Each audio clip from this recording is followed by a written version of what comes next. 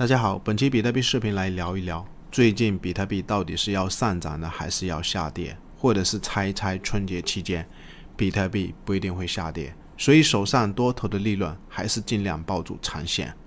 但是短线上面又有一点压力啊，或者是等一下再来分享几张图表里面的知识，包括短期压力和一些买卖的方法。如果你喜欢本视频，感谢点赞、订阅、小铃铛，或者新粉丝也可以加入我们 Discord 群。上面有我免费分享的交易信号，或者也可以查看我二零二三年度 OKX 交易战果。我们先来看一下比特币周线的这张图表。昨天是在跟朋友们重申，有可能这个位置比特币是在箱体盘整，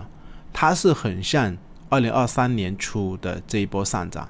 从四月份到八月份基本上都是在箱体盘整。而且我们可以观察一下，比特币在二零二三年初的十六 K。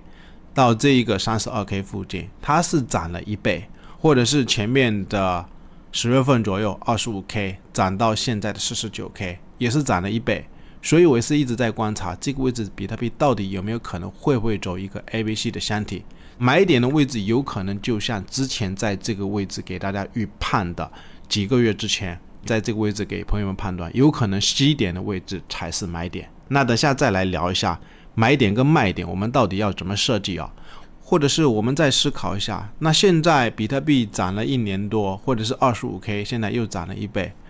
中国大陆是马上要过春节啊，在这个春节期间，有一些朋友的观点我是非常的认可啊。在春节期间，比特币的主力辛辛苦苦把价格拉得这么高。然后我们要思考一下，春节期间我估计不一定会下跌哦，因为有可能春节期间很多币圈的朋友人传人，或者是朋友传朋友，口头相传，让很多更多的人知道。如果我是主力，我肯定在这个位置，春节期间不一定会有大跌，然后继续吸引一大批新进场币圈的一些粉丝，或者是继续开户来买比特币。或者是这个位置盘整到位，上面的压力会在哪一个位置？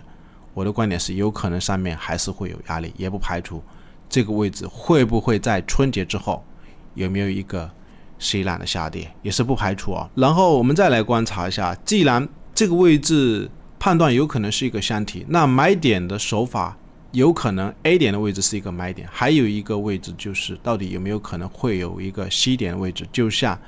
今年的四月份到八月份，这个 A 点的位置也是有做多过，后面 C 点的位置也是继续做多，但是现在 A、B、C 整个浪形都还没有走出来，我也不确定这个位置到底是不是 B，还是说日线里面有没有可能早就已经 A、B、C 结束了。不过我的观点从周线里面目前看的不是很明显啊，或者是这个位置日线里面有没有可能是一个 A、B、C，现在也不确定。那等下来跟大家讲。这个位置上面有压力哦，因为我们观察一下周线，它是收了一根空方的吞噬，而且这一次下跌的这一根 K 线量能是非常的大，所以上方是有一点短线的压力。怎么观察出来的？不过它不是长线的压力哦，或者是买点的设计，一般在波浪理论里面，如果是一二三四五的高点是不能去做追加的，或者是 N 型的高点一般是不能去做追加的动作。那我们可以观察一下，其实这一波包括当时这个四十九 K 或者是四十八 K，也是一路在做空。为什么做空在这些高点的位置？主要是属浪形啊，像这个位置有可能就是一个一二三四五，或者是前面的这个位置也是感觉有一个一二三四五。那像这种高点的位置就不能去追，尽量观察它会不会有 A、B、C 的修正。我们尽量观察这边会不会走一个 A、B、C 啊，所以五浪的顶部不能去追，有可能买点的位置就是在 A、B、C、C 点下跌的位置。当然，C 点现在目前看不出来啊，因为 A、B、C 有很多种啊，比如 A、B、C 平坦型的，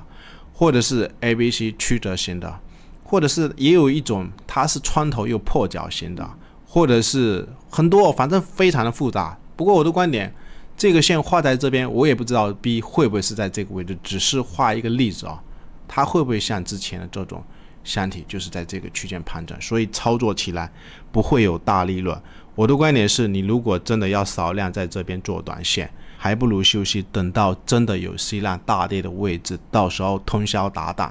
连续几天看看有没有这种继续一百倍做多的机会啊。然后我们来看一下比特币四个小时的图表，因为前几天在这一根 K 线高点的位置，我是有做过一笔空单，价格大约是在四十三点八 K 附近哦。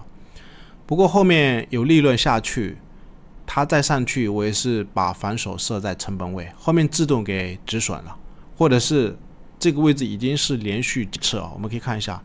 一次、两次、三次、四次。那昨天这个上影线没有达到这个位置，现在已经是四次有压力啊。那么可以看一下这个位置为什么会有压力，去观察一下，就是前面从四十九 K 下来的这个位置，当时是在这一根 K 线啊。我们可以观察一下，就是这一根 K 线位置有一个很重的压力，下方是有量啊，所以上面四十九 K 跌下来，从周线里面观察是有一些抛压抛出来的一个卖盘，不排除有可能是主力的卖盘，或者是这个位置上面感觉是有一点压力啊，所以几天呢已经过不去，但是它也不肯跌哦。那我昨天是在推特上面给大家发了这张图表，我们从四个小时里面观察，它是不断的在走楔形哦。这种楔形是看跌的形态，就是主力在吸引散户，不想回撤的很深，走成一个通道的形态，它就是一直在吸引散户买在高点的位置，然后跌下来，然后昨天也是在这个位置给大家发了这张图表，这种形态又是一个看涨的斜线，那现在又涨上来了。所以从这种形态，我个人判断有可能这个位置主力不会有大作为哦。我的观点是不排除就类似这种形态，在这个位置箱体震荡，不排除有可能会穿一下上面，或者是再涨一下，突破一下上面的压力，或者是有没有可能再跌破一下下面的一些支撑位，但是有可能还是回到这个箱体里面继续盘整。然后我们来看一下比特币日线的这张图表。就是黄金比例零点六一八的位置，这个位置也是有一点压力啊，价格大约是在四万四千七百美金附近。我们可以从这个高点拉到这一个三十八点五 K 左右的这个低点啊，它零点六一八的位置大约就是在四万四千七百美金，就是这个箱体啊，我们可以看一下，前面在这个区间不是有一个箱体的压力区，就是在。四十四点七 K，或者是这个箱体下沿的位置，大约就是在四十 K，有可能不排除会不会继续在这个箱体里面盘着。